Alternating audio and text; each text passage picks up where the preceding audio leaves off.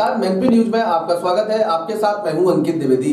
कस्बा ओछा में नब्बस के मौके पर छविनाथ सिंह मेमोरियल स्कूल में क्विज प्रतियोगिता का आयोजन किया गया, जिसमें स्कूली बच्चों ने बढ़ चढ़कर हिस्सा लिया। देखिए हमारे संवाददाता अभिषेक चौबे की ये रिपोर्ट। जनपद मैनपुरी में कस्बा ओछा पर मैनपुरी रोड पर आयोजित छबनाथ सिंह मेमोरियल स्कूल में कुछ प्रतियोगिता का आयोजन किया गया।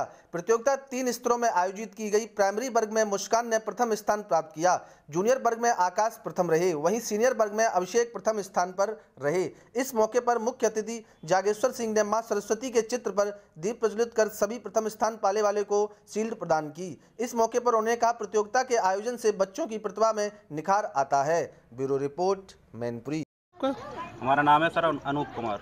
अनूप कुमार जी अ, ये प्रतियोगिता जो हो रही है जी सर। आज किस संबंध में हुई है? सर ये स्वर्गीय छबनाथ सिंह मेमोरियल प्रतियोगिता है। इस प्रतियोगिता का आयोजन हम लोग 2012 से प्रतिवर्ष करते हैं और ये क्षेत्रीय स्तर की प्रतियोगिता है।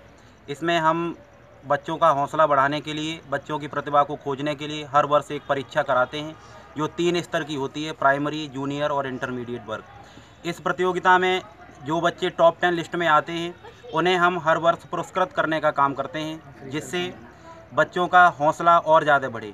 इस प्रतियोगिता में टॉप टेन आने के लिए हम बच्चों को प्रतियोगिता के स्तर की तैयारी भी करवाते हैं और बच्चों का मनोबल आगे बढ़े बढ़े। इसके लिए इस कार्यक्रम को हर वर्ष करते हैं।